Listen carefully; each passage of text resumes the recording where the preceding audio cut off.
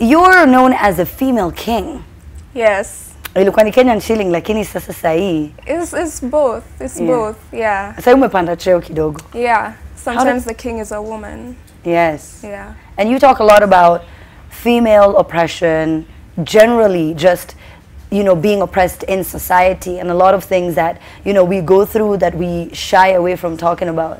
Um, trying to expound feminism, trying to explain, you know, why certain things just don't need explanations. Yeah. You know what I mean? So how long have you been, how, how long have you been a sp- spoken word artist? Um, about four or five years now. This is my fifth year, I think. Yeah. And you started writing just Yeah, I just started writing. I, I, I always say I got into it, not accidentally, but like it's never something I envisioned or something I thought I would get into. But then, because I, I was put in a spoken word competition because there was no one else from my school to participate in that co- uh, competition.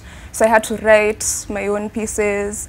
And then I think I was actually disqualified the first time, but then I kept writing, and here I am. And here you are. Yeah. A few years later, the female king. That's a big deal. So how, what? How did it? How did it come around to you being called a female king?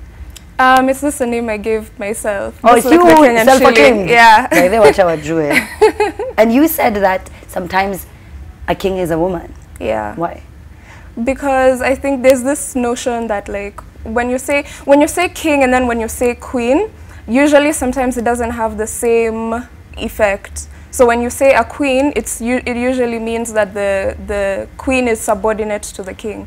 So which is why I had to call myself the female king because when you put the word king, then it has that effect. So that's why I said sometimes the king is Can a also- woman. Yeah. Yeah. And something else that you also call yourself is a masterpiece. Mastering piece. Yeah. Yeah. Why? Um, I liked the line because It's catchy. Um, it sounds yeah. nice. but also, I am a masterpiece trying to master peace.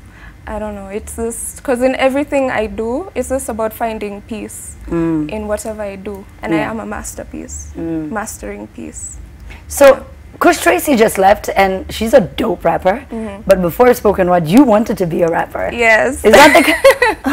Yes, um, I'm actually dropping an album. Oh, in, wow. In August, it's half rap and half um, poetry, so it's flowetry. Yes. That's what I'm calling it, flowetry. Yeah. So when it drops, you know the industry mm, better watch out. Hello. Are you anxious? Um, a bit, but then not really because I've listened to it. I finished recording it, so I know what it is. So I'm not anxious. Yeah. Maybe when it drops, then I'll be a bit anxious. So you're in law school. Yes. I'm so sorry. Sasa album, spoken word, oh, female king, oh. How is this even balancing out? I'm just trying to understand. Because it's very demanding. Very, very. Especially law, which is something you have to read, you have to study, you have to be in school all the time. And then I have shows, I have recording, this, that, and the third. But it's it works. It works for me. I feel like I was put on this path for a reason, and there has to be a reason why I was made to do all these different things.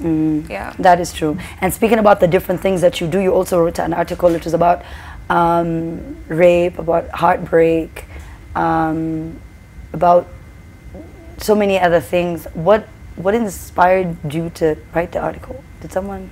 Um, no, well, I always feel like in whatever I do, even in my art, um, I feel like artists are the gatekeepers of truth, and artists are always the people who have that voice Yeah. to just talk about things, even if we're not the ones going through such things. Or I feel like I have the obligation to, you know, talk about things that people wouldn't normally talk about, or yeah.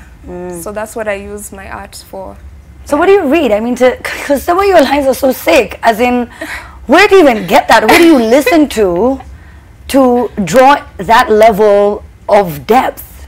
Sometimes I'll actually like either be in a matatu or in class and then a line will come. I write pieces in a very disorganized manner. I'll come up with a line and then I'll build a piece around that one line. So that hmm. line could either be in the beginning, in the end, in the middle.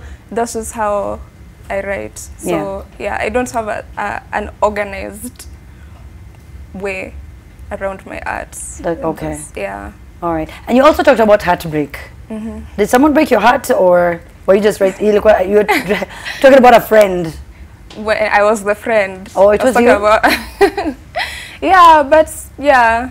So, but one thing I've learned is that you know sometimes things happen, like you get heartbroken and all that. But then it just depends on how you channel that energy, because you mm. can take it, and then from that I wrote like a bomb piece. So it just depends on how.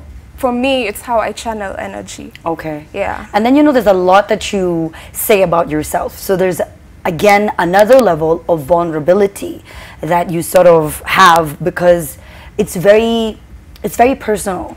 A lot of the pieces I think and you can correct me if I'm wrong that poets do it comes from things that they have experienced and things that they have seen.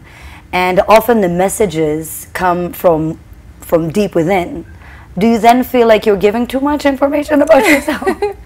Yes, but then also there's someone out there who relates. yeah.